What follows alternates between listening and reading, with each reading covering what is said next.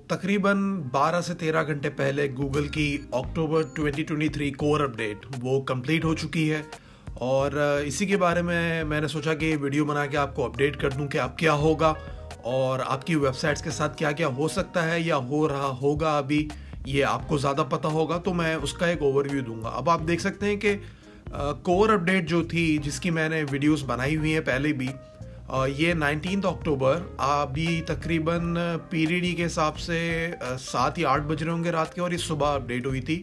और the roll out was complete as of October 19 2023 मतलब 12-13 घंटे पहले ये रोल आउट कंप्लीट हो गई थी। और अब अगर आप ये देखें कि सर्च इंजन लैंड पे, मैं इसका भी लिंक डाल दूँगा डिस्क्रिप्शन में तो यहाँ पे अगर आप देखें तो यहाँ लिखा है this felt like a big update taking almost 14 days to fully roll out मतलब ये अपडेट में पूरे दो हफ़्ते लगे गूगल को रोल आउट करने में इस अपडेट को। हालाँकि कोर अपडेट है ये, मगर पूरे दो हफ़्ते लिए गूगल ने इसे अपडेट करने में। और उसके बाद अगर आप यहाँ देखें तो यहाँ लिखा है कि lots of volatility this update like most previous core updates felt big in terms of the number of sites that saw ranking volatility and the complaints from SEOs I spotted over the rollout. We will try our best to do the data provider analysis, but with two big confirmed updates rolling out at the same time, it might be hard. मतलब volatility क्या है कि बहुत ज़्यादा किसी की website के अंदर एक डिक्रीज आ जाता है या इंक्रीज आ जाता है लेकिन वो कंसिस्टेंट नहीं रहता बार बार या तो वेबसाइट नीचे चली जाएगी या कभी ऊपर जाएगी फिर नीचे चली जाएगी फिर ऊपर तो ये होती है वॉलिटिलिटी के किसी का कुछ भरोसा नहीं होता लेकिन आप समझ लें कि ज़्यादातर इसका मतलब नेगेटिव इम्पैक्ट पे होता है, ना कि पॉजिटिव इम्पैक्ट पे। लेकिन ये आपको अपनी वेबसाइट पे देखनी पड़ेगी अपडेट जब ये अभी कंप्लीट हुई है तो आपकी वेबसाइट पे क्या क्या इसके आपको आफ्टर इफ़ेक्ट नज़र आते हैं? क्या वो आपको पॉजिटिव की तरफ़ लेके जा रहे हैं रैंकिंग में, या आपको नेगेटिव की तरफ़ लेके जा रहे हैं? ये अब आपको अपने एंड पे देखना पड़ेगा। अब अगर मैं सेमरश सेंसर पे भी देखूँ, जैसा कि मैंने एक दो वीडियोस में पहले कहा है कि ये सेंसर जो सेमरश का होता है, इसके अंदर जो इनके पास जितनी भी वेबसाइट्स होती हैं और उनकी जो मॉनिटरिंग हो रही होती है तो ये उसका एक आपको एक ओवरव्यू दे देता है कि इनके सिस्टम में या इनके एल्गोरिदम में जो वेबसाइट्स है, उनमें क्या क्या फ्लक्चुएशन आ रही हैं? या वो ऊपर जा रही हैं, नीचे जा रही हैं? लेकिन अगर आप देख रहे हैं कि अभी नॉर्मल रेंज है, लिखा है कि अनदर ऑर्डनरी डे तो यहाँ पे कोई इतनी ज़्यादा वॉलीटिलिटी नहीं आई है। और जो मेरी वेबसाइट है राइट डायनो ये एआई वाली, जो मैंने केस स्टडी के तौर पे बनाई थी, इसकी भी अगर मैं रैंकिंग देखूँ तो देखें, सबसे पहले आप कोई भी रैंक ट्रैकर इस्तेमाल करें ताकि आपको ऑटोमेटिकली सारे आपके जो मेन कीवर्ड्स होंगे, उनकी रैंकिंग आपको आपको एक ही जगह पे नज़र आ जाए।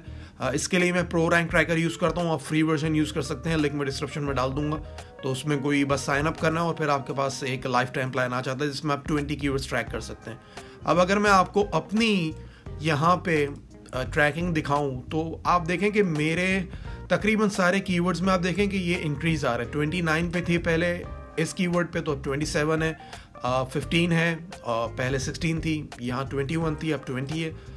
तो अगर मैं अभी भी इसे जिस तरह मैं कह रहा था कि अगर आप पिछले सात मतलब सात दिन का आप डेटा देखें और फिर चेक करें कि आपकी वेबसाइट में कितनी ज़्यादा फ्लक्चुएशन आई है। अगर तो आपकी वेबसाइट कंसिस्टेंट है थोड़े ऊपर नीचे हो रहे हैं कीवर्ड्स जिस तरह मेरे अगर आप देख रहे हैं तो मेरे तो खैर काफ़ी जो है कंसिस्टेंट ही है मतलब स्टेबल मेरी रैंकिंग है, कोई इतना ज़्यादा फ़र्क नहीं, कोई 26 पे था 24 पे था ये 15 पे था, इस कीवर्ड पे तो अब 22 पे चली गई है। यहाँ पे सेवन पे थी पहले भी और अभी अभी भी सेवन पे ऑमनिवर्स डायनासोर्स पे पहले सेवन पे थी, अब सिक्स पे आ गई है। इस पे नंबर थ्री पे थी, अब नंबर टू पे आ गई है वेबसाइट इसकी वर्ड के लिए ऑमनिवर्स डायनासोर टीथ तो ये फ्लक्चुएशंस अभी तो होना बिल्कुल नॉर्मल है। लेकिन अब क्योंकि रोल आउट अपडेट कंप्लीट हो चुकी है, हो चुकी है गूगल की तो अब एक तरह से आपको आपकी जितनी भी पोजिशन थी कीवर्ड की, अब उसकी आपको एक्चुअल रैंकिंग मालूम पड़ जाएगी। मतलब अब इतनी ज़्यादा आपको फ्लक्चुएशन नज़र नहीं आएँगी। मगर आप फिर भी एक से दो हफ़्ते और आप समझ लें कि आप थोड़ा और वेट करें एक से दो हफ़्ते। ये आप समझ लें, बस इतना वन से टू वीक्स का बफर दें ताकि आपको और अच्छी तरह आइडिया हो जाए कि आपकी वेबसाइट के जो इंपॉर्टेंट कीवर्ड्स हैं, उस पर आपकी वेबसाइट की रैंकिंग कहाँ पे। अगर तो बहुत ज़्यादा आपको डिफरेंस नज़र आ रहा है, अब जैसा कि मेरी आप रैंकिंग में देख रहे हैं तो अगर मैं किसी भी कीवर्ड का आपको वीकली भी डेटा दिखा दूँ, जैसे आप समझें कि मैं इस वाले कीवर्ड का दिखा देता हूँ तो अगर मैं लास्ट वन वीक का डेटा देखूँ तो 13 अक्टूबर से लेके ये ट्वेंटी अक्टूबर तक का है। तो मेरी रैंकिंग थर्ड पे थी थर्ड फिर fourth third third number two number three number two तो ये नॉर्मल फ्लक्चुएशन है अगर आपके भी जो कीवर्ड्स अगर आप ट्रैक कर रहे हैं, उसमें अगर आपको थोड़ी थोड़ी अगर फ्लक्चुएशन नज़र आ रही हैं कि मतलब एक या दो रैंक्स आपके गिर गए फिर नेक्स्ट डे आपके दो रैंक्स ऊपर चले गए तो ये बिल्कुल नॉर्मल है। इससे आपको पैनिक होने की नीड नहीं। लेकिन हाँ अगर आपकी वेबसाइट के मल्टीपल पेजेस और मल्टीपल कीवर्ड्स पे आपकी वेबसाइट ड्रास्टिकली नीचे चली गई है मतलब अगर किसी कीवर्ड पे आपकी रैंकिंग नंबर टेन पे थी, अब वो ट्वेंटी पे चली गई है सेकंड कीवर्ड पे टेन पे थी थर्टी पे चली गई है, इस तरह और कुछ पेजेस अगर आपके डी इंडेक्स हो गए हैं तो ये फिर एक अलार्मिंग सिचुएशन हो सकती है आपकी वेबसाइट के लिए। ये मैं अगेन ये कह रहा हूँ कि हो सकती है।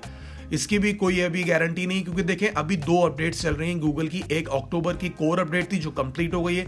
साथ ही साथ स्पैम अपडेट थी जो कि अभी भी कंप्लीटली रोल आउट नहीं हुई है।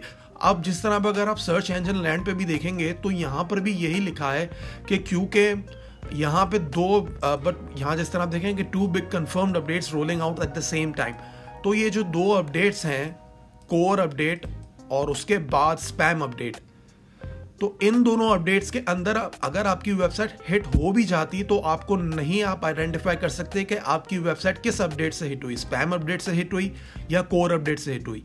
तो इसकी, आप किसी भी तरह इस चीज़ को आइडेंटिफाई नहीं कर सकते। लेकिन जिस तरह मैंने कहा कि आप एक से दो हफ़्ते और अपनी रैंकिंग को मॉनिटर करें, कोशिश करें कि कोई रैंक ट्रैकर यूज़ करें। अगर आप नहीं करते तो एटलीस्ट स्प्रेडशीट्स मेंटेन कर लें। उसके अंदर आप कीवर्ड्स को देख लें कि आज कीवर्ड की रैंकिंग यहाँ है तो कल क्या थी, परसों क्या थी। इस तरह था कि आपको एटलीस्ट वेबसाइट का आइडिया हो जाए कि आपकी वेबसाइट के कौन कौन से पेजेस और कौन कौन से कीवर्ड्स पे आपको कितनी ज़्यादा फ्लक्चुएशन नज़र आ रही है। अब ये तो बात मैंने कर दी। इसके बाद अब सेकंड चीज़ ये ये आती है कि अगर आप हिट हो गए हैं तो आप क्या करेंगे? उसके लिए देखें, अगर तो आपके मल्टीपल पेजेस गूगल से डी इंडेक्स हो गए हैं। साथ ही साथ अगर आपको लग रहा है कि आपकी वेबसाइट के मल्टीपल कीवर्ड्स पे आपकी रैंकिंग बहुत ज़्यादा नीचे आ गई है तो आप कंटेंट फ़िलहाल डालते रहें, चाहे वो आप चैट जीपीटी से ले रहे हैं एआई से ले रहे हैं आपका ओरिजिनल कंटेंट है डजेंट मैटर लेकिन आप एटलीस्ट कंटेंट अभी भी ऐड करते रहें और कंटेंट डालने के बाद आप ये चेक करें कि गूगल कितनी टाइम में इंडेक्स कर रहा है। साथ ही साथ जिस कीवर्ड को आप टारगेट कर रहे हैं, क्या उसके अंदर गूगल में आपकी वेबसाइट आ भी रही है? नहीं आ रही। टॉप हंड्रेड रिजल्ट्स के अंदर प्रोवाइडेड कि आपकी कीवर्ड रिसर्च अच्छी हो। ये सारी चीज़ें करें और इसके बाद जो जो पेजेस आपको लग रहा है, जो आपके मेन इंपॉर्टेंट पेजेस हैं, जिन कीवर्ड्स पे आप रैंक करें, अगर उस पर वेबसाइट आपकी नीचे गिरी है तो उन पेजेस को आप एडिट करें और देखें कि आप कहाँ कहाँ पे कुछ इंप्रूवमेंट कर सकते हैं। क्या आप इंटरनल लिंकिंग बेहतर कर सकते हैं? क्या आप कुछ एक्सटर्नल लिंक्स डाल सकते हैं? या आप उस कंटेंट को मजीद अच्छा कर सकते हैं? कुछ और थोड़ा, थोड़े पैराग्राफ्स वगैरह ऐड करके ताकि कंटेंट और ज़्यादा बेहतर हो सके। तो ये सारी चीज़ें आप करके देखें। उसके बाद फिर एक से दो हफ़्ता और अपनी वेबसाइट को मॉनिटर करें। क्योंकि आप, क्योंकि ये कोर अपडेट कंप्लीट हो गई है तो अब थोड़ा आप समझ लेंगे गूगल हल्का हाथ रखेगा कीवर्ड्स के अंदर या आपकी रैंकिंग के अंदर अगर बहुत ज़्यादा नीचे गिर रही होगी तो अब इतनी ज़्यादा फ्लक्चुएशन आपको नज़र नहीं आएँगी। जो रेगुलर फ्लक्चुएशन होती हैं, वो तो बिल्कुल आपको नज़र आएगी। तो यहाँ मैं अपनी वीडियो एंड करता हूँ, और अगर ये वीडियो पसंद आई तो लाइक कर दें शेयर कर दें, और अगर आपने चैनल को सब्सक्राइब नहीं किया तो सब्सक्राइब कर दें। और ये वीडियो देखने के लिए बहुत शुक्रिया। Thank you